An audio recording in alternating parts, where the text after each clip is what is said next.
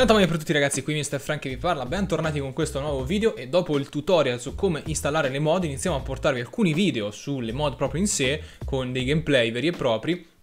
in questo video vi mostrerò un potenziale insomma enorme che hanno queste mod perché come vedete abbiamo modo di utilizzare i bastoni elementali, in questo caso soltanto quello del fuoco ancora, però abbiamo modo di utilizzare i bastoni elementali anche in Black Ops 3 in tutte le mappe zombie che ci sono, più naturalmente anche quelle accessorie diciamo create appositamente dagli utenti su Steam. Eh, mi dispiace se il gameplay non è qualità super eccellente, come ho già detto nel video precedente il mio computer non è dei, tra i più performanti, quindi purtroppo i settaggi grafici non sono i migliori e ugualmente non so per quale motivo il programma non ha registrato l'audio, quindi non potete sentire l'audio del gameplay, ad ogni modo spero vada bene lo stesso, insomma risolverò per i prossimi video eventualmente. Comunque quello che volevo farvi vedere appunto è il potenziale che quest'arma, come tutti saprete, era presente in Origins su Black Ops 2 e come vedete è stata riproposta su Black Ops 3 con, avendo ricreato proprio il modello in maniera impeccabile, cioè è tutto identico, uguale a alla, all'arma praticamente di Black Ops 2. Le visuali insomma anzi migliorate con gli effetti di luce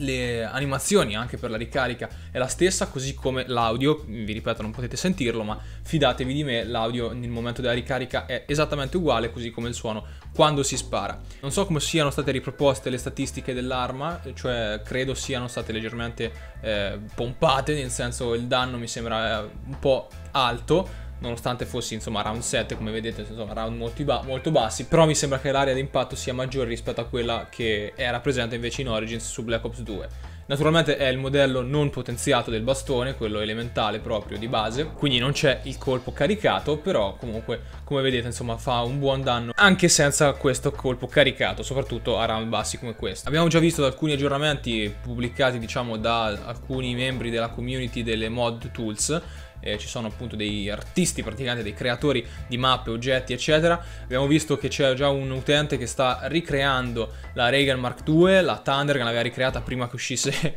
purtroppo Revelations, quindi ha dovuto ricreare l'intero modello, purtroppo non sapendo che sarebbe poi uscito ufficialmente su Black Ops 3, quindi purtroppo ha fatto un lavoro enorme per nulla perché poi potrà semplicemente riprendere quell'arma lì già da Black Ops 3 senza dover ricreare il modello. Ad ogni modo poi abbiamo visto appunto la Mark II, la Reagan Mark II, alcuni hanno già aggiunto la possibilità di usare ad esempio la Reagan Mark I come akimbo, come doppia arma.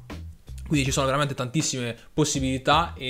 sia per creare oggetti ex novo sia per riproporre oggetti invece delle vecchie mappe sicuramente amati da tutti quanti. Comunque questo era tutto per questo breve video, eh, in, aspettatevi altri video sulle mod, probabilmente anche una streaming a breve, quindi un saluto a Mr. Frank ragazzi, state sintonizzati per nuovi contenuti sempre sulle mod e eh, con l'arrivo imminente della mappa Revelations su Xbox One e PC scopriremo se c'è questo super easter egg o meno e in caso ci sia, come mi auguro caldamente e come credo, vi porteremo tantissimi contenuti anche su questo nuovo easter egg. Comunque, un saluto a Mr. Frank ragazzi, noi ci vediamo con un prossimo video.